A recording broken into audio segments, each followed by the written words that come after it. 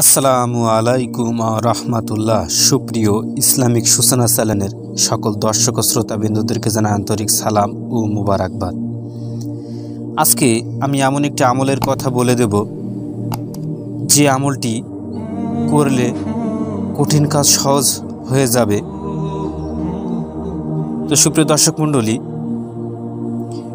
কঠিন কাজ সহজ হওয়ার আমল আল্লাহ তালা বান্দাকে তার সুন্দর সুন্দর নামের জিকির বা আমল করার কথা বলেছেন। রসুল্লাহ সাল্লি সাল্লাম হাদিসে আলাদা আলাদাভাবে এই নামগুলোর আমল করার ব্যাপারে তাগিদ দিয়েছেন। আল্লাহর গুণবাচক সব নামের আমলে রয়েছে গুরুত্বপূর্ণ ফজিলাত।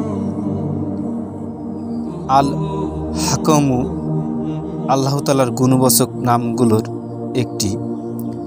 যার অর্থ হল হুকুম বা আদেশ প্রদানকারী। যার আদেশকে কেউ প্রতিহত করতে পারে না।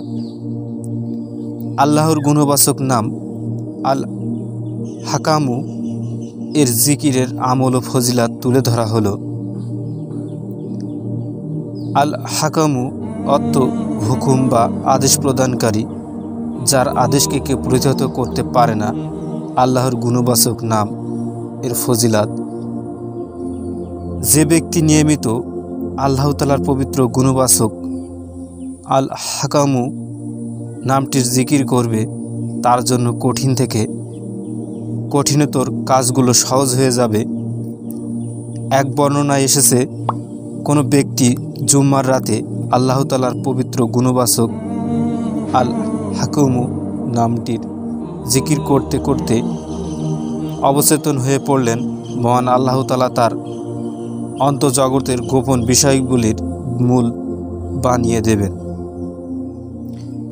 পরিশেষে আল্লাহ তালা মুসলিম উম্মাকে ছোট্ট আমলটি নিয়মিত আদায় করা আল্লাহ তালার অনুগ্রহ লাভ করার তৌফিক দান করুন। আমিন।